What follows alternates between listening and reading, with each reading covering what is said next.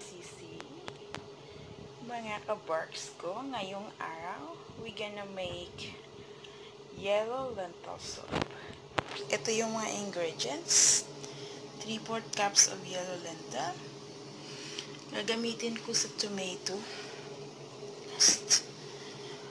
1 teaspoon, 1 tomato, 1 carrots, 1 potato, 1 chopped onion, and 3 cloves of garlic.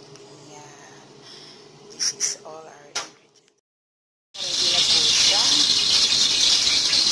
Ngayon, isa na po tayo. Igisa natin yung onion at saka garlic.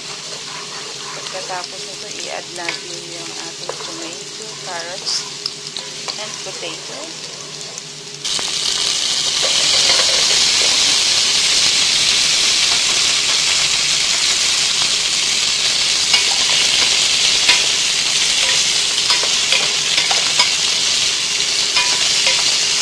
Ngayon, tagyan na natin siya ng 1 teaspoon tomato paste,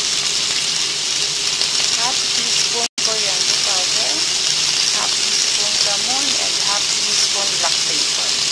Tapos na po, tapos na po nilagay natin yung tomato paste na 1 teaspoon, lemon, coriander powder, black pepper. Ito po siya. Half teaspoon lemon, half teaspoon black pepper, half teaspoon coriander, tomato paste. We are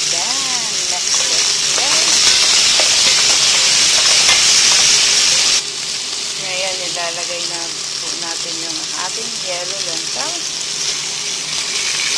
3-4 cups.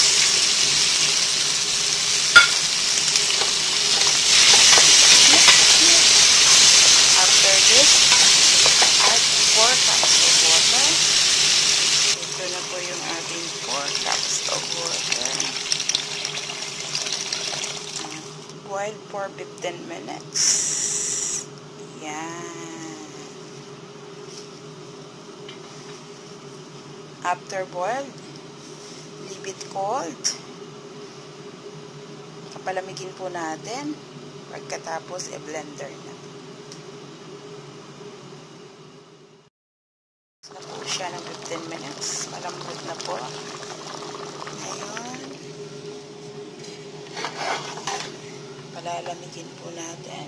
Put on the side for half an hour bago siya i-blender. Tapos na po yung 30 minutes natin na palamig. After cold, put it in a blender.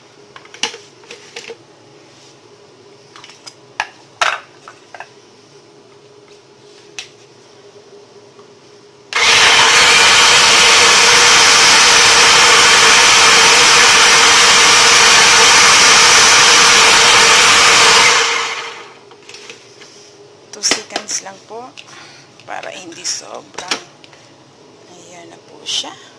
Huwag yung sobrang uh, blend blend kasi. Babalik natin dito.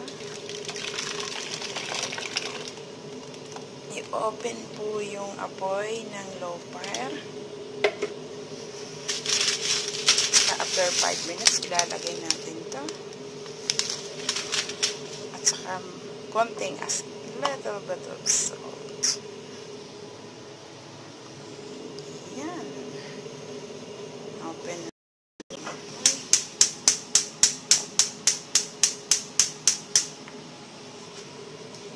lagyan natin ng konting tubig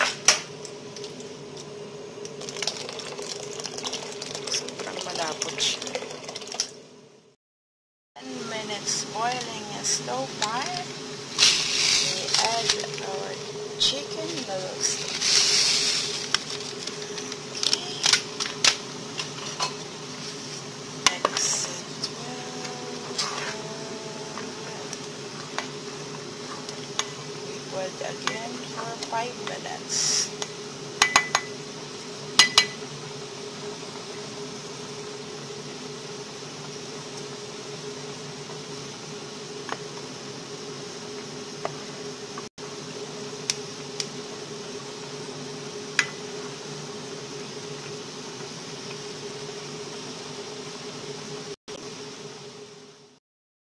natin siya ng konting asin, salt.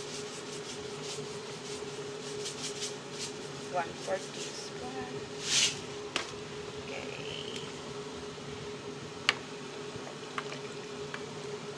Tapos na po siya. Yan na po siya. Tapos na po yung ating yellow lentil soup.